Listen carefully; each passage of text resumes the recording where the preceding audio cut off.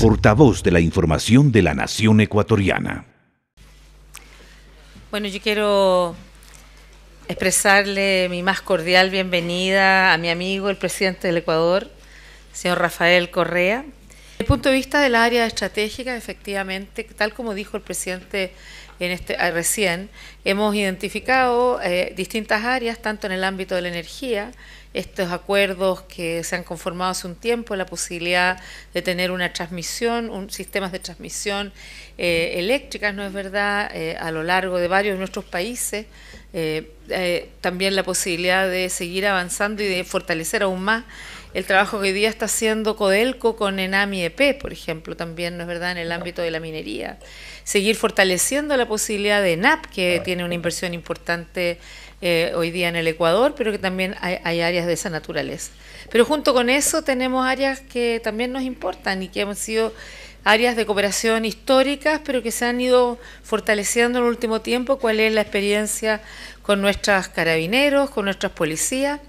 Y asimismo también materia de discusión ha sido el tema de que estamos en la MINUSTA en Haití hace un buen rato con nuestras fuerzas de ingenieros y son temas que hemos estado discutiendo para mirar de qué manera juntos podemos seguir haciendo las cosas eh, de la mejor manera posible. Para...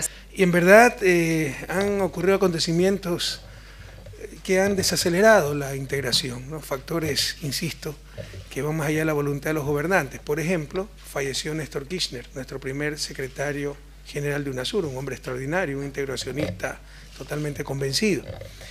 Falleció Hugo Chávez, que no sé dónde sacaba tiempo, pero se ve el tiempo para impulsar la integración.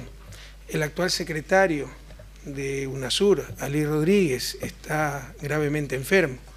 Entonces ha habido realmente factores, insisto, debido a la suerte, ya, a la providencia, que han desacelerado el proceso integracionista. Pero como dice Michelle, esto no debe desanimarnos, sino comprometernos a aunar esfuerzos para eh, retomar el dinamismo de esa integración. Y estamos seguros que, conociendo a Michelle, su vocación integracionista, con la llegada de ella al gobierno, Chile será un puntal para retomar ese dinamismo en cuanto a UNASUR. Y nuestra reforma educacional busca entonces tener educación de calidad. Hemos dicho gratuita porque no queremos que nadie quede fuera, que se segregue, que se excluya a alguien porque no tiene recursos. Entonces estamos haciendo un proceso que vamos pronto a empezar a enviar proyectos al Parlamento, estamos en un proceso de discusión, el ministro está en un proceso de diálogo con los distintos actores, eh, que este es un área que de, importante intercambio, ¿no?